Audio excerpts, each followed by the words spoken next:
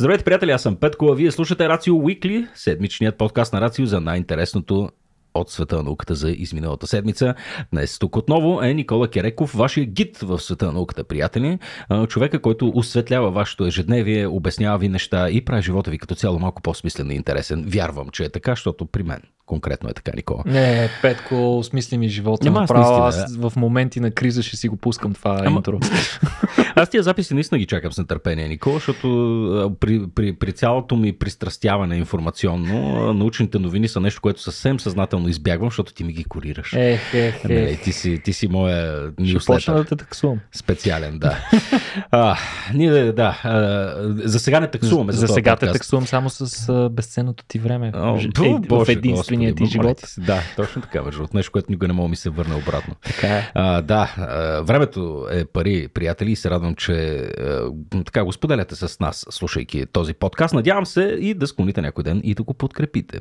Сайтът е patreon.com наклона черта RACIO.BG. Ако искате да продължим да съществуваме, да съществувате, щях да кажа да съществуваме, това не е заплаха, е обещание, mm-hmm. а, може да ни така помогнете, като станете наши патрони, ще получите достъп до Discord сервера, всякакви гъдели там, специални места на нашите живи събития.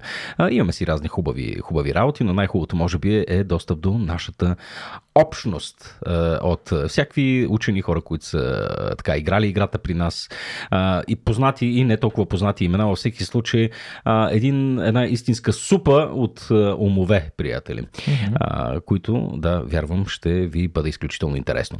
А, благодарности и на нашите партньори от Storpool, които подкрепят и този епизод. Storpool Storage, Никола, нашите партньори, те са част от бъдещето на съхранението на данни, отбелязвам. Стига бе, аз си мислих, че правят такива басейни. Ами така звучеше Storpool, но ето виж колко по-високо технологична. Точно така, и за разлика от басейните, там, там е безкрайно. Ще ми се да вярвам. Ех, ще ми се да вярвам. А, ами да, така както са тръгнали Никола с а, така, скорострелното си развитие в mm-hmm. областта на облачните услуги, няма да се изненадам. А, държа да отбележа, Никола, че са българска компания и те правят иновативно, собствено, in-house решение за Block Storage. Това е софтуерен а. продукт за дистрибутирано съхранение на данни, Никола, в облачни Еми, дай Боже, повече такива високотехнологични компании. А, така, да. Особено у нас. Mm-hmm, нали? mm-hmm. А, решението, което те са разработили, се използва от десетки компании в цял свят и обслужва милиони потребители на глобално ниво. Отново българска компания, Никола. Това е не знам, къде им, не знам Виж... къде им е генезиса, изкушен съм да кажа, че са нали, от един гараж от Каспичан, примерно, за да е по-такова. А, но да, във всеки случай, наше родно нещо. Е, а... по- по-добра ниша са си намерили от моето първоначално предположение, така че много се радвам, много се радвам за тях, наистина. Да. А, те, приятели, освен че подкрепят този подкаст, си търсите интересни и готини хора като вас самите. А, може да видите повече за отворените позиции в компанията на storpol.com наклона черта Force. Благодарности на Сторпол и Никола. Имаш думата, приятел. С какво да, искаш да започнем Имаш днес? думата. Ами, а, Петко, да започнем с това, което ние правим тук в момента с тебе. Фащаме си, говориме някакви тъпоти. Mm-hmm. А, на всичкото отгоре даже и се записваме и други хора ни слушат, което е някаква форма на такава интелектуална... Внимавай. Дочакам се търпение, чуя думата. Няма да я кажа без това. Интелектуално влайорство, според мен, а, да, okay. слушаш, да слушаш други хора, нали, как, как си говорят. А, както и да е. Но а, всъщност структурата на разговора, в която участниците си сменят ролите, може да не е уникална само за нас, хората. Hmm. Ние често си поставяме тази корона в животинското царство, но дали това наистина е заслужено? Според ново изследване при шимпанзетата се оказва, че те се придържат към култура на комуникация сходна на нашата. Иначе казвам, шимпанзетата си говорят точно като нас. В смисъл, и някои хора Нашия... говорят точно като шимпанзета. Точно, точно като нас двамата. Е така, точно като нас да. си говорят Петко. Горе-долу. И, и с като... същия речников запас. Абсолютно. С същите междуметия. Абсолютно. Характерните за мен подсмърчвания и подслюнчвания. Абсолютно. Mm-hmm. Та, а, към момента всъщност се знае, че разговора при шимпанзетите е малко по-различен. Способността им да си общувате по-различно от хората, най-вече с оглед на това, че те не са, нямат толкова голям запас на а, Толкова... звуци, които могат да издават, mm-hmm. те повече си говорят, приоритизират жестовете пред звуците. Смисъл, жестовете при тях говорят много повече. А смисъл там имаме анатомично, ако щеш ограничение, защото не могат да артикулират такава пър, палитра от, от звуци, каквото ние абсолютно. можем да правим. Да. Та, международен екип от учени са наблюдавали хронологията в жестовете при група диви шимпанзета в Източна Африка. Хронологията? Да, mm-hmm. как, по какъв начин, как, какво се случва, кой кога казва, как се редуват прекъсват ролите, ли се? прекъсват ли се и така нататък. И се оказва, че те наистина си сменят ролите и правят паузи от до една секунда между отговорите, като понякога дори се прекъсвали при разгорещена дискусия, подобно на начина по който го правим и ние. Ха. А, интересното е, че това откритие показва доста сходни еволюционни механизми при тези комуникационни взаимодействия, които според учените вероятно а, са, е, е сигурен знак, че този белег е възникнал много по-рано, преди предшествениците на двата ни вида, общият предшественик на двата ни вида, да са се разделили а, преди милиони години. Това мисля, че при шимпанзета беше 6 милиона или 5 милиона, при горилите беше 8. Да, Като някакъв, някакъв, са ни такъв, някакъв най, най, най-близки са ни, да. А, та, за целта ученици са анализирали над 8500 жеста, направени от 252 шимпанзета, много конкретно. А, та, учените са идентифицирали не само прилики, но и разлики в комуникацията им спрямо от човешката, като например при хората в а, а, както при хората в някои райони, които говорят по-бързо от хора, обитаващи други райони, където се говори много, много по-бавно. А, интересно за мен беше да установя, че сред европейските държави най-бавно говорещата нация, можеш ли да предположиш коя е?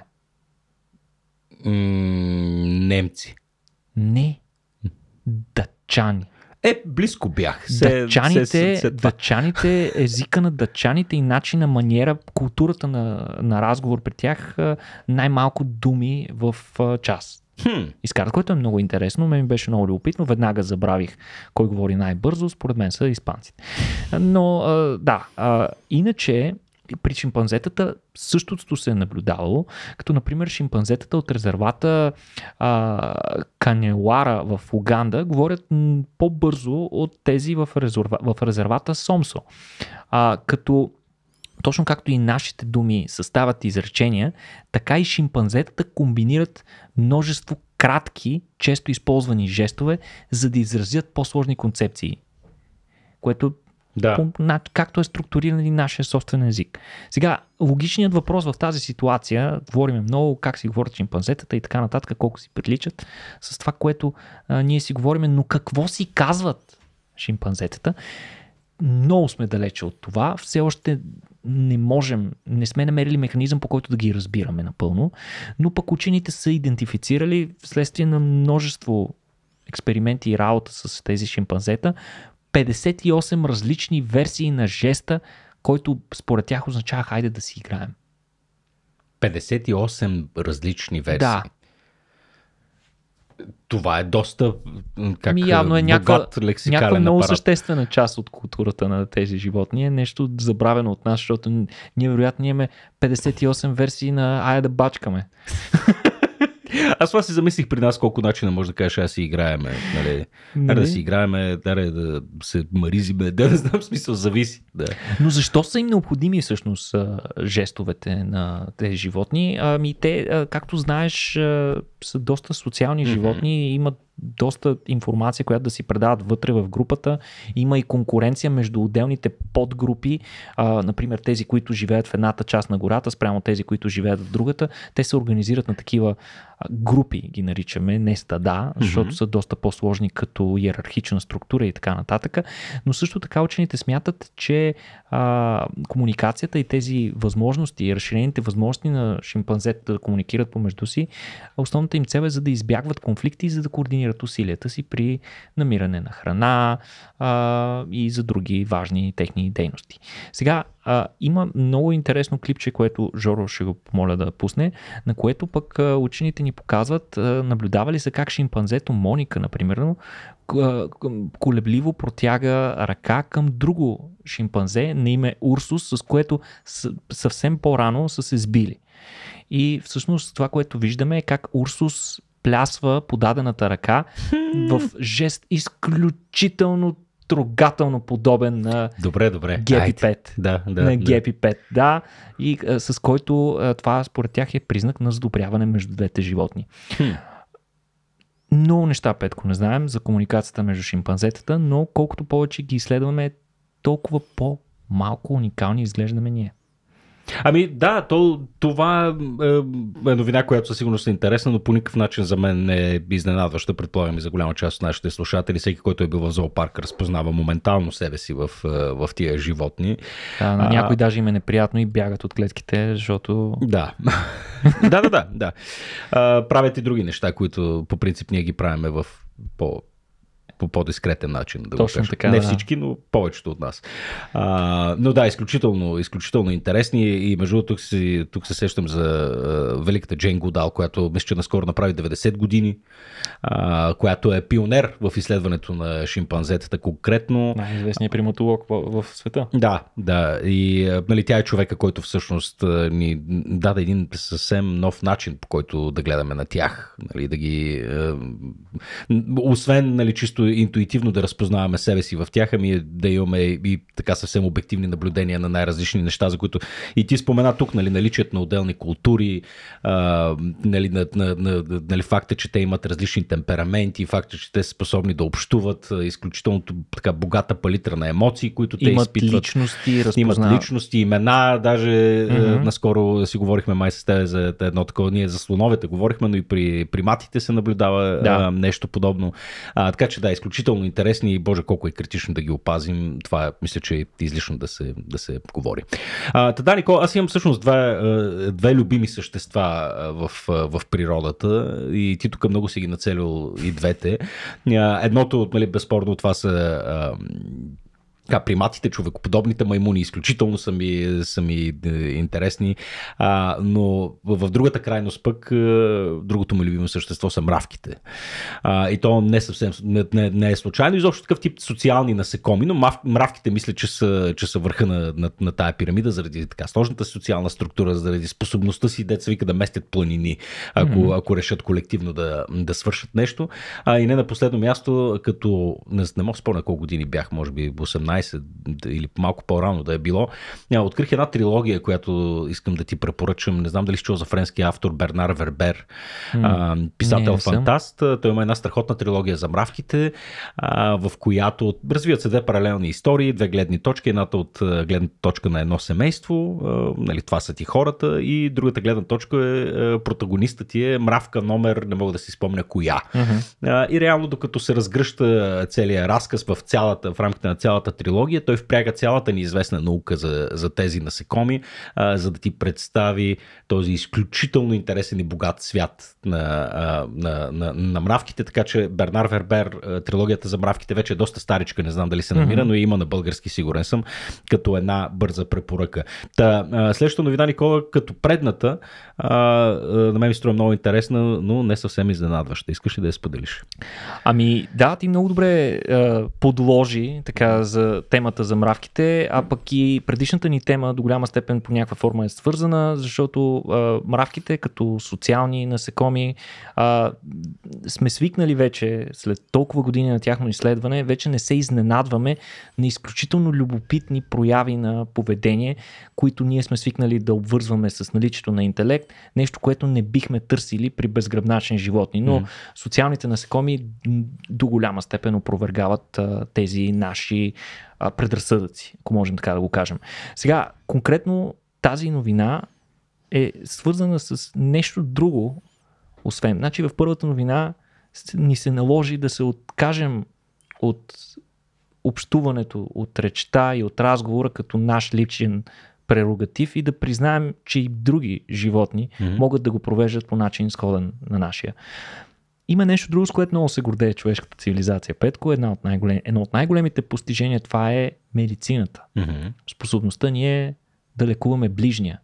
И всъщност предшественици на съвременната медицина и на сегашните лекари и доктори, ние можем да наблюдаваме в изключително стари култури, буквално от зората на времето е имало хора, които са изпълнявали роля, важна роля за поддръжка на физическото и духовно здраве на останалите хора в групата. И всъщност медицината за всички тези години, особено през последните две-три столетия, е спасила милиарди със сигурност животи по света, но наскоро немски учени са наблюдавали вид дървесни мравки да извършват петко, забележи, сложни хирургични операции. Като индивиди? Точно така. Да, защото ти като каза, нали, ума, това, което ни удивлява като гледаме социални, като наблюдаваме социалните насекоми, всъщност проявата на един колективен разум, нали, че всяко нещо е част от едно, едно mm-hmm. такова. Но това е малко по-различно. Струва, Абсолютно. Защото ти говориш за индивид, който в случая става дума за ампутации, като... Ампутации? Ами, за да почнем да. с една сравнително проста, но mm-hmm. често необходима процедура.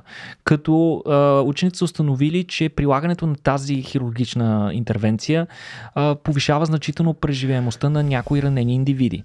Сега, ако травмата при дадена мравка се наблюдава в долната част на кръка, представи си техния аналог на пищялани, а, ако ранените животни биват изолирани от останалите, едва 15% успяват да оцелят. Ако обаче край тях имат техни а, посестрими, а, оцеляват цели 75% от ранените животни. Тоест, наличието на мравки около тях допринася за тяхното оцеляване. Преживяемост. Точно така. В този случай мравката медик придържа ранения крайник между мандибулите и предните си крака. Хваща крайника на ближното животно, хваща го между челюстите и предните си два крака и започва да, при липса на друга подходяща дума, да ближе раната на раненото животно продължително време. А, сега това очевидно ролята му е да отстрани бактерии и да хм. намали а, вероятността за инфектиране на раната. Проблем, който се наблюдава дори и при нас. Сега, при по-сериозна рана, при по-сериозна травма, която да се наблюдава в основата на кръка, в горната част на кръка, аналог на човешкото бедро, се наблюдава друго поведение при мравките. Те изчистват добре мястото, след което директно ампутират крайника чрез няколко прецизни прореза с помощта на челюстите си. А, при тези травми оцелемостта без лечение е 40%, докато с ампутация цели 90%. Сега, но мравките никога не ампутирали крака с травми в пищяла, т.е. в долната част на крака. И учените не знаят защо. И се запитали мигновено, добре бе, защо не ампутират и при тези mm-hmm. граници. И сега, оказва се, за да разберат това, учените какво мислят, че направили? Фанали едни мравки и му дрезали. Оф. Разбира се. да, експериментално ампутирали краката на мравките ранени в пищяла. И какво установили те? Че не се подобрява оцелемостта им. Това, което учените разбрали с експерименти, мравките вече са го знаели. Вие откъдето идвате, ние оттам се връщаме. А, което е невероятен пример за взаимопомощ. Сега, при а, травми в долната част на кръка, според учените, това, което причина за това е, че при травми в долната част на кръка, потока на хемолимфа, което е аналога на, кръв, на нашата кръв, а, не е засегнат. И съответно, хемолимфата се движи със същата висока скорост. И ако там навлязат бактерии, което се наблюдава, вероятността да навлязат бактерии при ампутация е по-висок, защото имаш по-голяма травма, бактериите могат да навлязат много по-бързо в тялото така. И съответно при, а, пък, а, при травми в бедрото се наблюдава много бързо забавяне на потока на кръвта. Следователно, при ампутация вероятността от разпространение на бактерии в останалата част от тялото ще бъде по-ниска. Това е, разбира се, начинът по който са прочели данните учени. Може да е нещо съвсем различно. Сега самата ампутация отнема около 40 минути, т.е. тя е една наистина сложна хирургическа процедура. А, не могат да отгреждат кръка достатъчно бързо мравките, за да предотвратят разпространението на бактерии. И а, затова учените смятат, че те, а, това е причината те да прекарват много повече време, за да почистват раната предварително, за да намалят шанса в следствие, в последствие, когато се прибегне към процедурата, да се заразят животните. Сега, изумителното в случая е как мравката жертва стои кротко и се оставя на друга мравка по сестрима да й прегризе кърка. Шо, явно тя знае, че е за нейно добро. Сега знае в безкрайно огромни кавички. А, но интересното е, че тя през цялото време асистира, няма анестезия, разбира се. Тя е анестезия и при хората не е имало до съвсем скоро. А, та, след тази тежка интервенция, при която тя се лишава от един от шесте си крака всъщност, има от какво да се лиши една мравка. А, след това тя подава свежата рана към а, друга мравка, която да я почисти и стерилизира. Понякога, Те няколко, понякога няколко мравки участват в тази процедура, но според учените те не са специализирани мравки, а някакъв конкретен инстинкт се задейства в която и да е мравка в колонията, която се натъкне на ранен, а, на, на друга ранена мравка, че тя може да изпълнява тази роля. Тоест, те са инструктирани по първа помощ как да изпълняват по някакъв начин я знаят. Разбира се, това в случая с безгръбначните не е продукт на обучение, а е продукт на дълбоко закодирана генетична програма. Сега, инфекциите са много голям проблем за всички животни, но те са особено голям проблем за социалните животни. И според учените, а, при тези животни а, това крие много повече рискове, тъй като разболяването на един индивид от остро заразно заболяване а, в а, ситуация, в която тези индивидите в някаква социална група живеят близко едни до други, а, често комуникират помежду си, създава условия а, инфекцията много бързо да се разпространява. Mm-hmm. Затова mm-hmm. и според тях чисто еволюционно са възникнали тези методи, които да предотвратят на време разпространението на, на, на някакво инфекциозно заболяване или патоген, без да се налага да се лишиш тотално от съответния член на групата. Да. И а, учените показали, че макар и с един крак по-малко, повечето мравки запазили напълно своята функционалност и продължили да помагат и да допринасят за успеха и прогреса на своята колония. Аз предполагам, че и при мравките не е нисък е, травматизма. Е, не знам, пак аз е, връщам се с спомените си към книгата на Бернар Вербер, където се водиха едни битки брутални. Нали, между различни мравчени колори, да, да, между, с различни големи насекоми, така че предполагам, че има, има основание да възникне този еволюционен механизъм. Е, това, че са много, не означава, че са заменими толкова лесно, включително индивидите. Но тая новина нали, повдига и други въпроси, е, някои от които ти вече засегна, дали далеч по а, дали, интересни. Нали? Ти като каза нещо, което е така дълбоко кодифицирано в някаква генетична програма а, и води до едно толкова сложно поведение, нали, за Бога, какво нещо е паметта, mm-hmm. нали, как, какво, какви неща а, всъщност се закодират генетично и се предават нали, сред така милиони поколения едно след друго. А, много, много любопитно. Много готино. Супер интересно. Трябва да, да бъдем, а, за да бъдем абсолютно акуратни в случая, трябва да кажем, че това поведение е наблюдавано само при конкретен вид мравки. Не, не, при всички, да. не е напълно сигурно, така че сега не. Предполагам, че доста хора ще хукнат да ровят по мравуняците и да, им и да раняват мравки, за да гледат как други и, им ампутират краниците.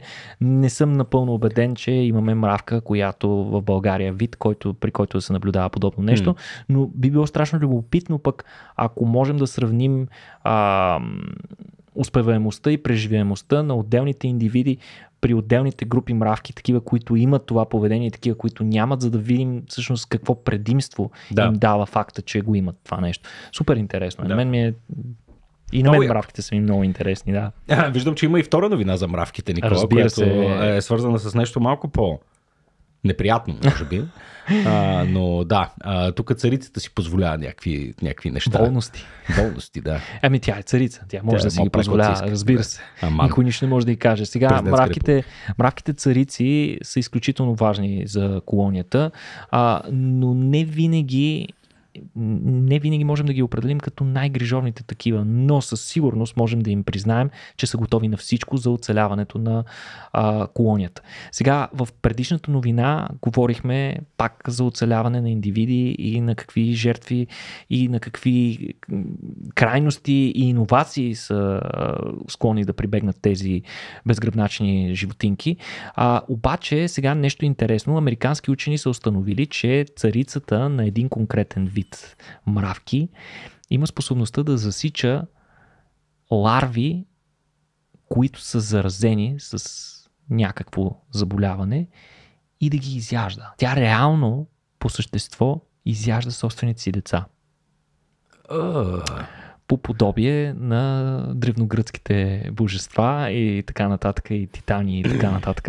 Но Само дет някой не излезе през главата на един интер- Зевс. Интересното е, че учените веднага са намерили доста по-конструктивно романтичен начин да нарекат това поведение, като са го нарекли хигиенен канибализъм, Петко. И сега ще разбереш какъв е еволюционният смисъл на цялото нещо. Целта е да не се заразят другите ларви и самата царица. Така, това, освен, че спестява енергия на царицата, а, нали, от Мгм. факта, че отглежда а, отглежда животни, които отглежда ларви, които няма да станат възрастни или пък ще бъдат заразни. А, нали, а, това а, дава възможност на царицата в последствие да снесе повече здрави яйца.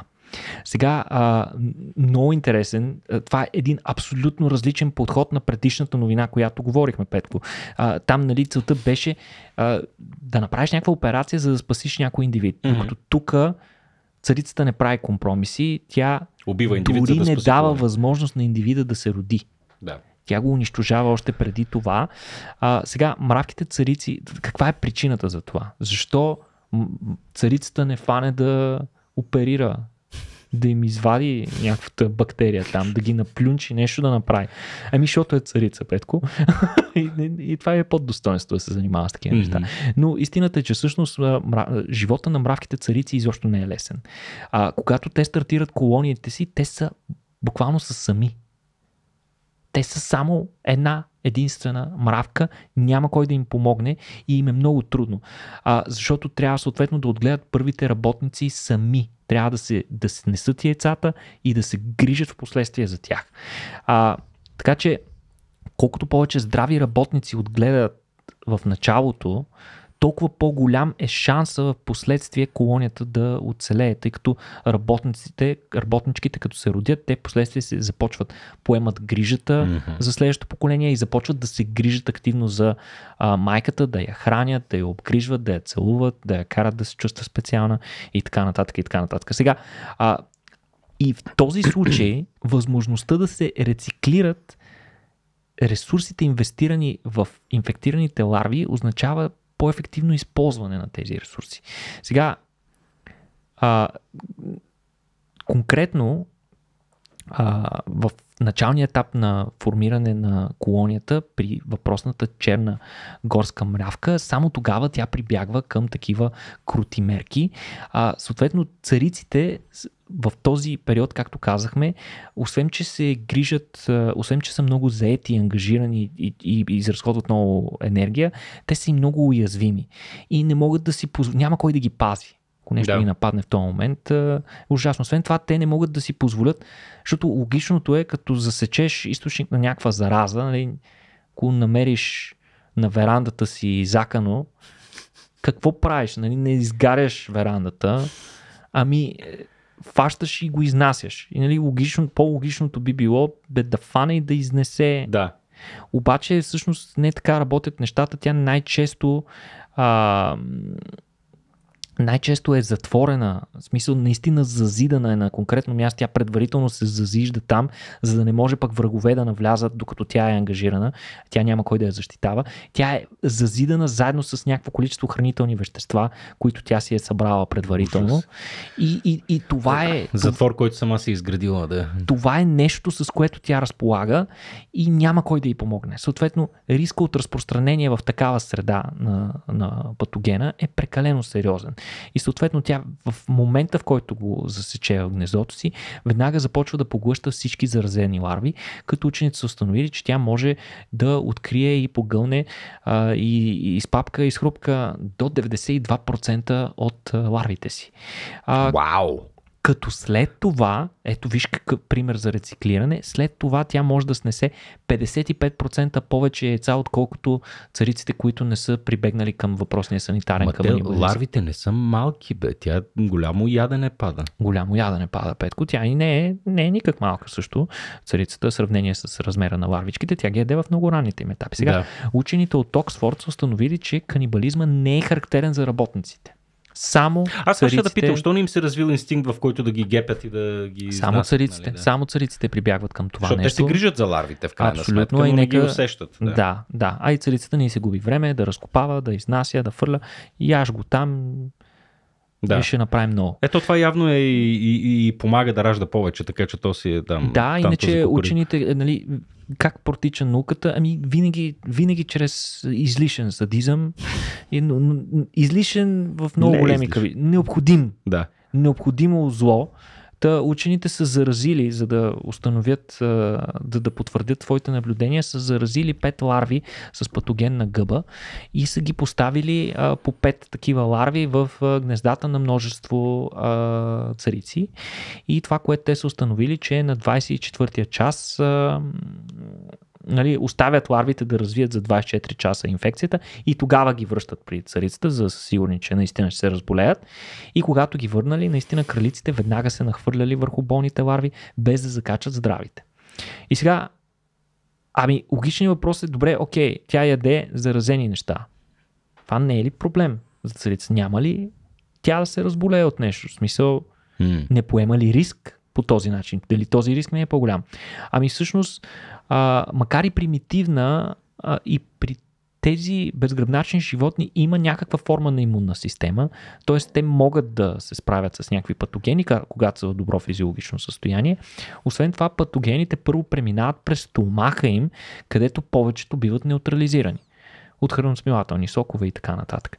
Освен това обаче, при този вид се наблюдава специфична жлеза по тялото им, която отделя смес от отрова и антимикробни вещества, които а, мравките могат да изяждат и по този начин да подсилват имунната система, нещо към което вероятно и царицата прибягва в тези моменти, за да гарантира, че пък няма тя да се разболее.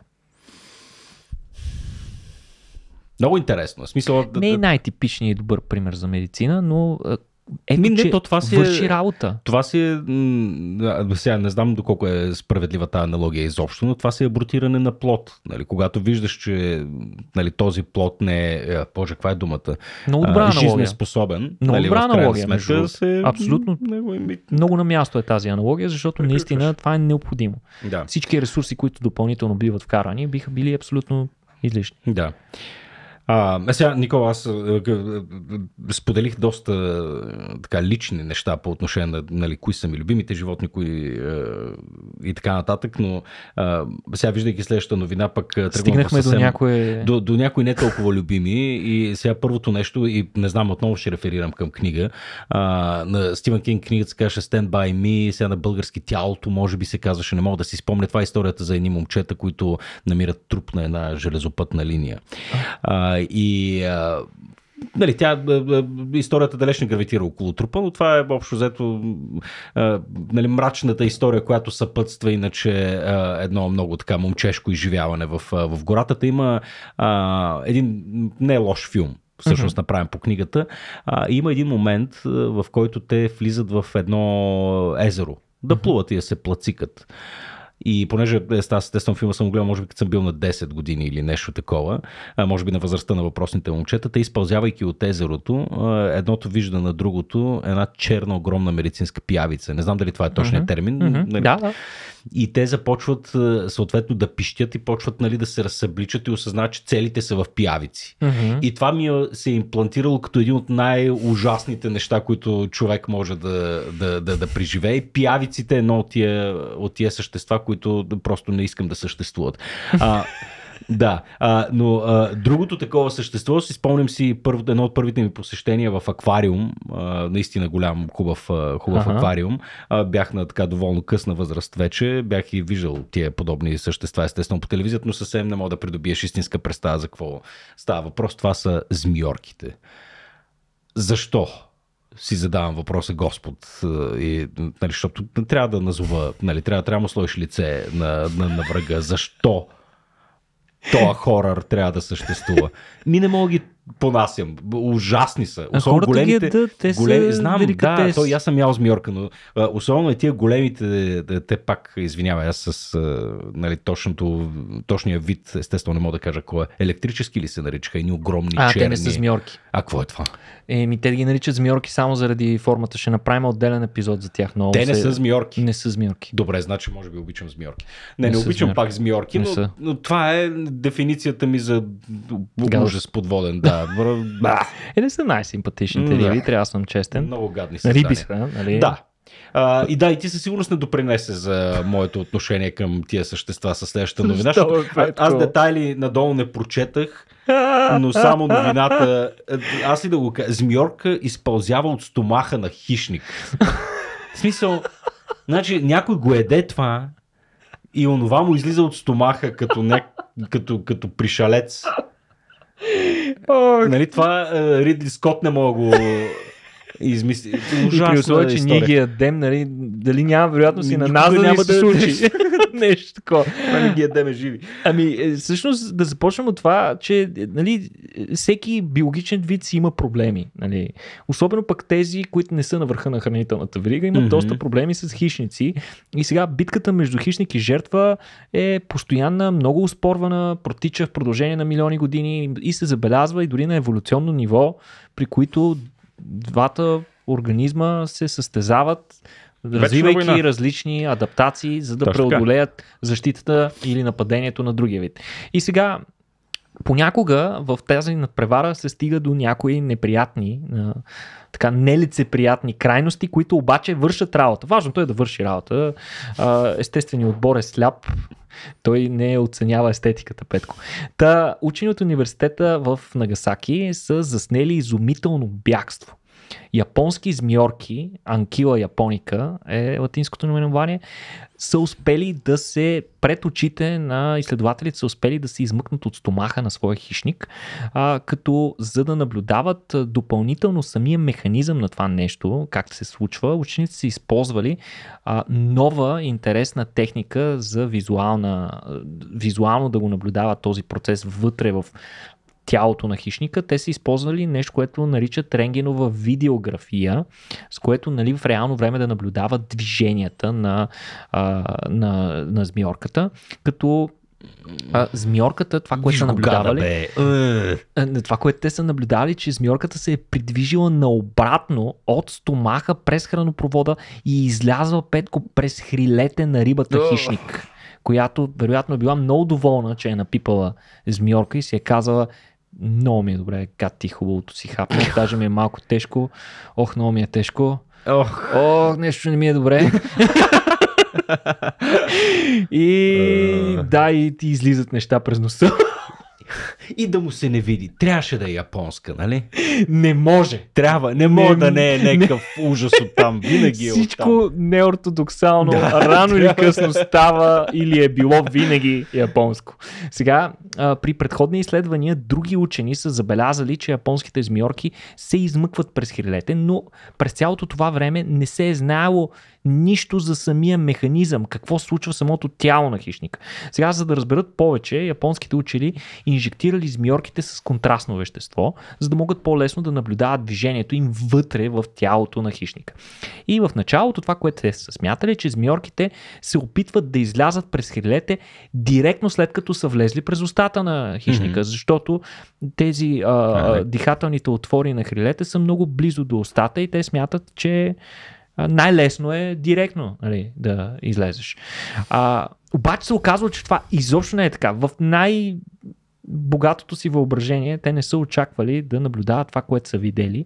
Опитите им показват, че механизма за поглъщане на жертвата на, на рибата хищник всъщност са абсолютно гениални. С вакуум и директно в стомаха. Mm. Няма минаване през хранопровода, ама да, да преглътна, ама нещо ми преседна, дай да пина вода. Директно. Да. И всъщност змиорката веднага се озовава в а, стомаха. И а, бягството всъщност на змиорката трябва да започне от там. От 32 змиорки, погълнати от хищна риба, всичките без 4 са се опитали да излязат наобратно през храносмилателния тракт. Явно на някой не са им достигнали силите или а, съответно рибата хищник се mm. чевръсто, така ги е натикало обратно. Но 13 петко са успели да изкарат опашките си през хрилете на хищника, а 9 са успели тотално да се измъкнат напълно и да се спасят. Сега бягството е отнемало средно около 56 секунди, които аз лично бих нарекал 56 секунди на, на, на, на кошмар, който се случва. Това е твърде дълго. Ти представяш си посттравматичния стрес при тази риба. Тя като ви измьорка следващия път, а не, не. Ужас, да. Не, не. Ама никой не мисли за горката змьор, където току-що е била по гълдата, разви. Еми тя е ужасна. В смисъл, вместо да. да си крутува там и да си изпълни еволюционната роля на, на, на жертва и да се разложи кротко и внимателно така да отдаде да. своите органични вещества, тя просто отказва да умре, Петко.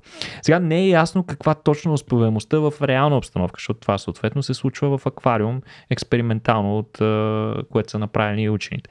А, Иначе преди сме говорили за риби, чието яйца оцеляват в храносмилателния тракт на птици, както и за бръмбари, които преминават през храносмилателния тракт на жаби от единия край и излизат от другия. А, но пък а, това нещо, а, мисля, че за първ път ние говорим, а според учените и за първ път се среща в а, а, научната литература. Сега това е много спорно, не знаем, не сме проверили всички източници, но пък от цялата тази авантюра на японските учени а, е излязло и нещо полезно. Въпросният метод за визуализация, който те са разработили специално за това изследване, може в бъдеще да бъде, изследва, да бъде използван и за други цели, например в медицинската диагностика и други неща. Супер! Браво! Или да наблюдават как живи риби излизат от да, стомасите на японци, не, които ги гълтат с живи. Тя пак като не го е прегризала е така. Да, не, да наблюдават това с а, пипалото на жив октопод, което се е залепило на гърлото на някоя жертва. Както и да е, нали, връщаме се отново. Някой ще ни обвини сега в... Nature is metal. Има, има такъв мишчера и така. Uh, хорари. Добре, дай нещо по-красиво, нещо по-лирично, Никола. Ами нещо по-лирично, Петко, някога, говорейки си сега за всякакви животинки, включително някои, които откровено не са ти приятни, а, ние неизбежно се поставяме на тяхно място или както беше случая на мястото на хищника, който нали, не си е постигнал целта или поне не по точно този начин, който си е мислил. А, но пък много по-трудно ние да се поставим на мястото на растения. Как се чувства едно растение? Първите ми опити с момичета, къде се якат пълно дърво, такова. Мога да... Тогава ли се постави? Това Абсолютно. беше най-близката ти интеракция. а, добре, а, но, но всъщност а, учени твърдят, че са открили най-самотното растение на света, Петко. Ето. Добре, това пък какво означава? Ми сега ще разбереш. А, всъщност, знаеш ли какво е цикъс? Никаква идея какво е цикъс. Никога не си... Може и да съм. Аз знам, че си човека, който but пазителят на семейното огнище и човекът, който купува домашни човек, растения аз, вкъщи. Аз, аз гледам фикуси или гиструми. Смисъл, тук, тук там е по някоя лилия. Не знам а, какво е а знаеш ли защо? Защо? Еми, ако си ходил в разсадници и така нататък, нали, човек като си избира растенията, а, саксийните растения в къщи, неизбежно се сблъсква с най-сериозния проблем и това е личния бюджет, до каква степен ще му повлияе. И най-вероятно тези растения ти неволно си ги избягвал, защото поне веднъж си видял цената им и си казва, не, не, това е прекалено. Я.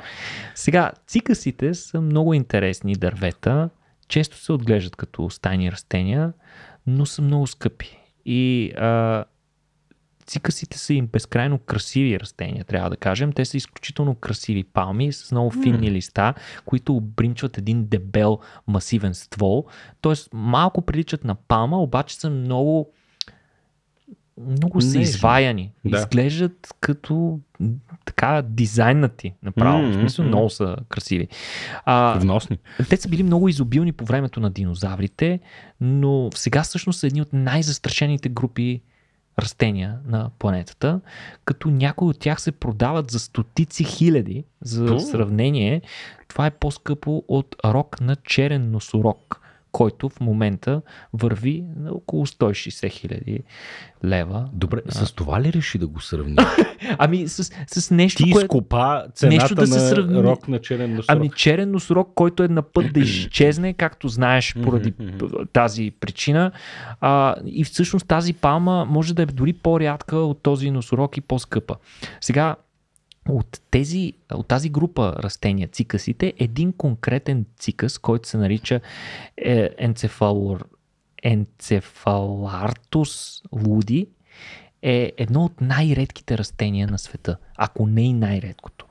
Е, единственият представител на вида петко, открит преди около 100 години, през 1895 година, над 100 години, от ботаника Джон Мадли Вуд по време на експедиция в резервата Нгое в Южна Африка, като въпросното растение е било мъжко растение. Всъщност тези растения са разделно полови мгм. и всъщност от тогава до наши дни женско растение не е било откривано. Вау. Нещо повече. Второ такова растение не е откривано. Това е единствения Единственият индивид. индивид. Вау. Сега, а, оригиналното растение последствие е било силно увредено. Учените, учения, който го е открил за първ път, след това е ходил няколко пъти да го наблюдава. Оказва се, че местните са го чопкали непрекъснато, са го дялкали и са си взимали части от него, които са използвали в традиционната си медицина. Съответно, 1916 година а, британските власти се решават и а, го преместват с цел да го спасят от местните, а, но каквото и да направят, в крайна сметка те не успяват, защото през 1964 година единственият индивид на това растение умира.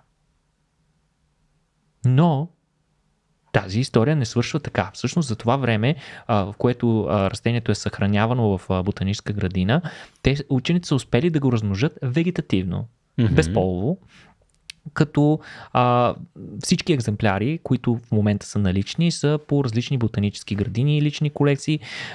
Днес всъщност те са изцяло клонинги на този единствен индивид. Като се смята, че съществуват в момента около 500 такива клонинги на този мъжки индивид, което го прави най-самотното растение в света. И сега а, през годините учените са се опитали да го спасят. Да го спасят от тази печална съдба, от тази тежка безбожна самота.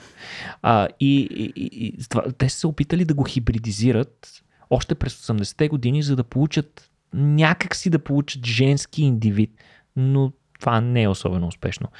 И сега всъщност ботаници са се впуснали в тежкото приключение да потърсят женско растение в опит да спасят вида, осигурявайки му необходимото генетично разнообразие.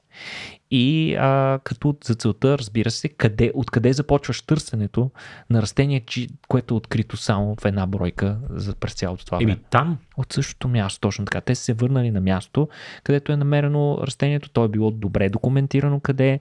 И ако има някаква вероятност да намериме други представители на същия вид и дано женски, На това се надяват учените. Най-вероятно е това да го направят там. А, за целта обаче учените са се върнали с тежката артилерия. Те използват в наши дни дронове, а, както и, са, и, и снимки от самолети, за да картират по-големи райони от а, джунглата.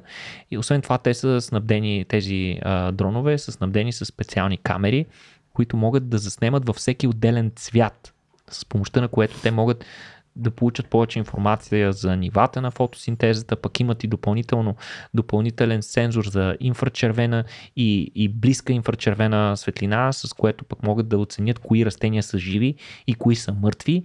И а, всичките тези устройства събират огромно количество данни, които се анализират за пореден път, обичайната процедура, Пускаме Машина... ги през един алгоритъм за машинно обучение, който е специфично обучен да разпознава женски цикъси. Сега много интересно. Единствената и най-съществена разлика между мъжки и женския цикъс е размера и формата на техните... А... В смисъл, това се наблюдава при другите видове. При този вид не знаят. Ами, не, не знаят, но, но пред... предполагат, че е така. При всички други видове се наблюдава този полов диморфизъм а, при техните шишарки, при които женските са по-закръглени, а мъжките са по-издължени. Но то наистина е много красиво. Е така, особено сред другите дървета. Много е, снимка, много е красиво. Пуснахме... Призовавам нали, всички любители на стайни растения, като отидете в някой голям разсадник, накарайте ги да ви покажат, ако имат цикъс и не сте виждали. Много красиви растения, безкрайно скъпи, mm. безбожно. Мисля, че 80 лева е едно такова мъничко. А, иначе а, в резервата, резервата на Нгое а, през последните десетилетия е подложен на много свирепа сеч. И това... А той къде се намира? Южна Африка, да. Okay. Основната причина за това е факта, че на хората в района са им били нужни дърва за добива на злато в района и а, поради тази причина изсичат огромни количества дървета, които се а, пускат в пещите, които участват в различни процеси на добива на злато. А, като не само тези цикъс е застрашен, застрашени са разбира се и други видове, но ако наистина е било толкова рядко това растение, много вероятно е всичките му представители да са унищожени. Сега от 2022 година насам ботаниците търсят, за сега няма намерени други индивиди, но учените са оптимисти, като те смятат, че причината е факта, че в момента са покрили едва 2% от а, гората на територията на резервата. А, историята е предизвикала вълна от съчувствия в много други хора по света, които са започнали да им изпращат снимки на цика си, характерни, характерни за техните райони или такива, които те отглеждат в къщи, с надеждата, че пък някъде някой от тях може да се окаже точно този индивид. Така търсенето се разширява неимоверно и дава възможност на учените да покриват и територии извън резервата, а защо не и на други континенти. Mm-hmm. И а, дали трябва да продължат да го търсят, това е пък моят етичен въпрос към теб. Според теб заслужава ли си усилията? Първо зависи какви са усилията. На мен ми звучи като ефтина операция това нещо. Ако е някакъв тип гражданска наука, нали, разни любители да обикалят, да. А, ако са го анализирали добре, и се оказва, че то няма някакви магически лечебни свойства или да е от особена важност за екосистемата, каквато очевидно той няма, бидейки един единствен индивид, едва ли има някаква mm-hmm. екосистемна роля. А, и при положение, че той видимо не е жизнеспособен в тази среда, макар че не се знае, нали, толкова, ако, ако целенасочено той е бил избиван от въпросните хора, които така да е, изрязван от въпросните хора, тъй като там тяхната култура го е изискала заради лечебни. Ако чисто а, поради а, човешка намеса е било mm-hmm. елиминирано, нали, това е, това е съвсем друг въпрос. си в този цикъс да се крие универсалното лечение да, на всички видове рак. Няко, някаква панацея и, и, или да сме нещо го издялкали да е и ние сме го издялкали, да. Та, това казвам. Смисъл, ако, ако просто, да, трябва да си се направи някакъв а, анализ на ползите и, и жертвите, които трябва да положим всъщност, за да го спасим. Не знам. Честно, честно ти кажа, не съм, не съм сигурен дали трябва. Аз не бих. Да, всъщност аз по-скоро съм склонен да се съглася да. с теб. Всички тези усилия ми се струват. Има абсолютно... много работа, която има да се има върши. Доста, има доста, по-спешна, да доста по-спешна работа, както и преди сме си говорили в един друг епизод, който направихме с а, нашия приятел Славил Пейков, mm. посветен именно на връщането към живот да. на отдавна изчезнали видове. А, усилията, които се влагат за това най-често са неоправдани, а много често и самите екосистеми, в които тези видове е трябвало да живеят, отдавна са ги забравили и заменили. Мястото им, тяхната екологична ниша отдавна е заета от други. Да. И ние не сме точно в правото си да определяме, че те заслужават да бъдат върнати, Точно защото това със сигурност би изисквало... Освен ако някой не иска да си го гледа в ботаническата градина, нали? Да. но да го връщаш в дивия свят е абсурд. Не виждам смисъл да Но на тези хора, които все пак искат да изкарат стотици хиляди долари, ако успеете да намерите индивид от това растение някъде в джунглата на Нгое, със сигурност ще си изкарате за поне поне половин апартамент в манастирски ливан. да, или както се оказа Никола, много по-вероятно е да успеят а, просто да намерят един черен носорог и да му вземат рога. Нали? Малко по-малко пари, ама нали, шансовете са по-големи. Е, ще стигне само за банят. Супер, Никола. Гараж, за гараж. за гараж, за гараж манастирски. Еми, супер, Никола, благодаря ти много, приятелю. Е, много интересни новини. Днес, днес се фокусирахме малко повече върху биология, но ние май така си ги редуваме. Мен ми харесва. Е, космос, космос живот, космос живот, космос живот. Някой ден ще направим само за смъртта. Живот в космоса. Абе, да ние, сме, ние сме октомври месец, Хелоуин спешъл. Виж коя идея ти мятам. Ох, петко, петко. Да, метнах ти го директно е така на твоите плещи, Никола. Трябваше змиорката да оставим за тогава. да, между другото, да.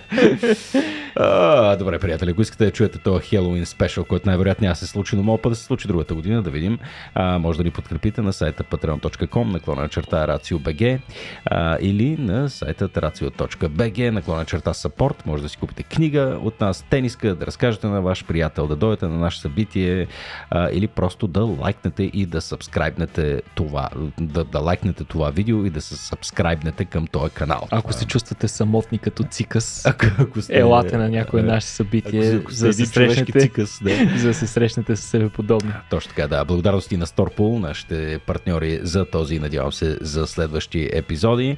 А, на вас, приятели, желаем здраве и хубава седмица. Това е. Чао.